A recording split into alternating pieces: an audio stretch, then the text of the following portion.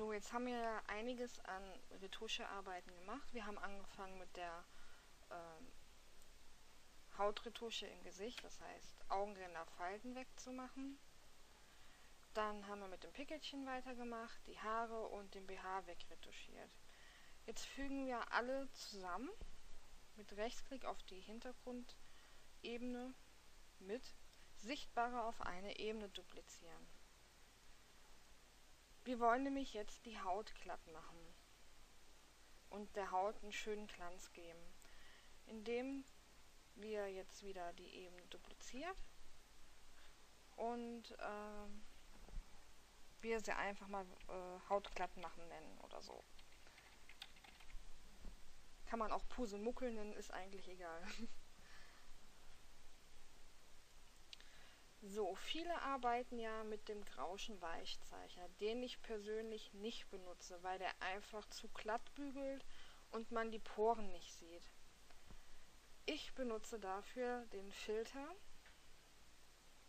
Weichzeichnungsfilter matter machen.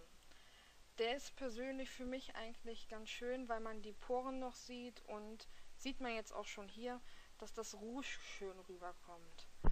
Ich benutze meistens immer einen Radius von 50 Pixel und einen Schellenwert von 70 Stufen, ist aber je nach Bild unterschiedlich.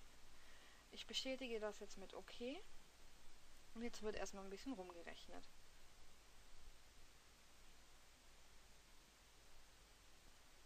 So, jetzt ist er fertig mit der Rechnerei und das Bild sieht jetzt sehr unnatürlich, matschig und schwammig aus. Jetzt kommen wir eigentlich zu einem kleinen Trick. Da Adobe Photoshop Elements 7 ja keine äh, Ebenenmasken zur Verfügung hat, machen wir uns jetzt einfach eine, indem wir auf Hintergrund klicken und oben jetzt bei den Einstellungsebenen äh, eine Tonwertkorrektur machen. So, die bestätigen wir jetzt mit OK, verändern hier gar nichts. Und man sieht hier schon eine Maske. Jetzt verbinden wir die Maske mit oben unserem Bild. Indem wir die Alt-Taste gedrückt lassen. Jetzt kommt hier so ein lustiges äh, Symbol mit zwei Ringen. Und dann genau hier auf die Linie klicken, um die miteinander zu verbinden. Das mache ich jetzt mal. Zack. Und man sieht, das Bild ist ein bisschen rübergerutscht. Jetzt ist die Ebene Maske mit unserer Hautglattmachen Ebene verbunden. So, jetzt gehen wir wieder auf die Tonwertkorrektur, füllen diese mit schwarzer Farbe und zack sind wir wieder beim normalen Bild. Jetzt wird einfach mit weißer Farbe mit einem normalen Pinsel ausgewählt, was von dem Filter betroffen werden soll.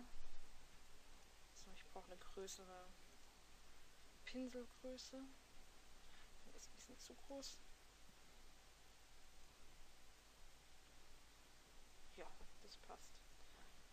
Mit X wechsle ich ganz einfach zwischen Weiß und Schwarz und fange jetzt einfach an, hier die Haut etwas glatter zu machen.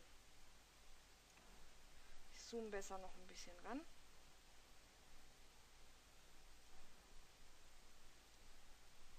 Und fange jetzt einfach mal an. Mit der Raute-Taste kann man auch ganz einfach schnell die Pinselspitze kleiner machen. Auch sehr praktisch, wenn man dann hier mal in so Stellen hinkommt.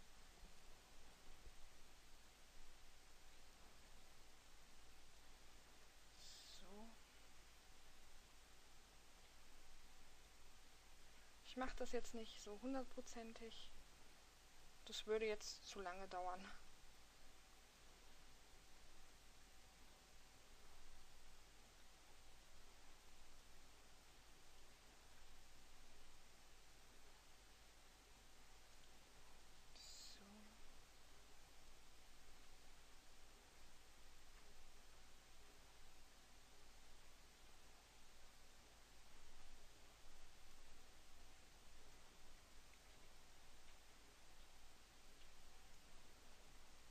kommen wir zum Gesicht.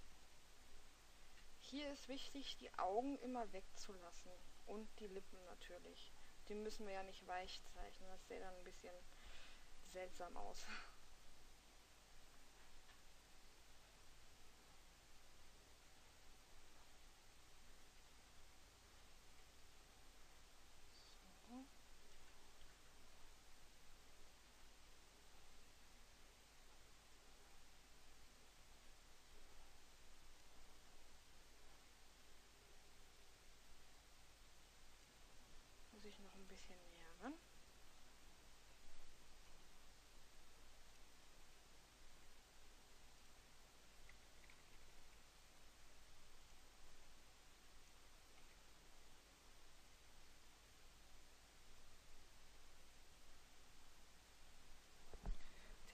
Balancing lasse ich mal raus. So.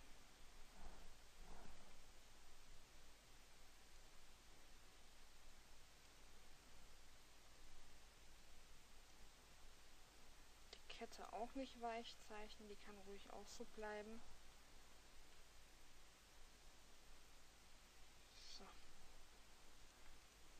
Okay, jetzt haben wir, denke ich mal, alles ausgewählt. Sieht jetzt noch ein bisschen komisch aus, aber das ist kein Problem. Wir klicken auf die Tonwertkorrektur Korrektur und regulieren jetzt einfach die Deckkraft. Ich würde sie jetzt einfach persönlich auf 35% lassen. Das ist nicht zu viel, nicht zu wenig, gerade an der Grenze, denke ich.